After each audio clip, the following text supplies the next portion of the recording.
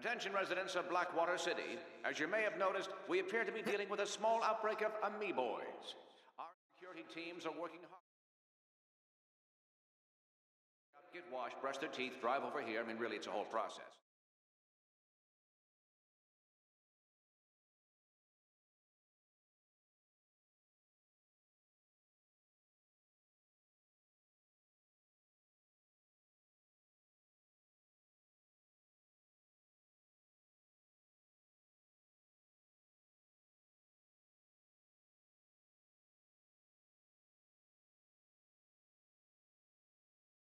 Ratchet and Clank return to Aridia.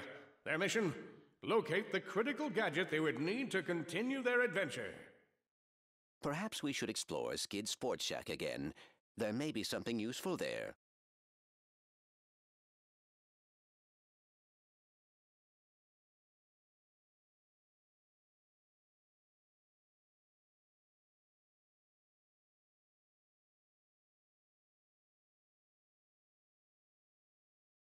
Yes!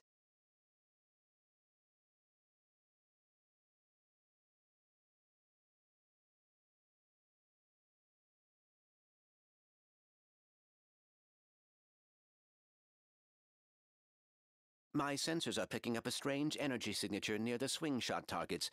I believe it may be a gadget from Drek Industries. All right, let's have a look around. Yaha, Skid McMarx here. Hey, don't let old man Winter bum you out. Visit our snowboard department and pick up the latest in snow shredding technology. It's never too cold to be cool. Hey, it's Skid here. You know, anybody can buy stuff and look cool, but unless you sound cool, you won't be cool. So check out our class schedule and sign up for the Cool Seminar, where you'll learn to look, sound, and even smell cool. Like me! you ready to catch some waves? Aw, tubular. Dudes, have I got a deal? Ratchet and Clank found a portable hydro displacer, designed by Dr. Nefarious. This ingenious device promised to move water from one place to the other.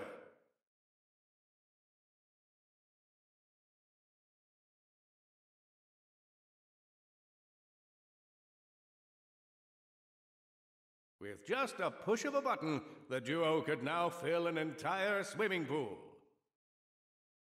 Originally designed to unclog Valkyrie toilets, Ratchet would find the hydro displacer invaluable in navigating the We sewers of the galaxy. to the ship.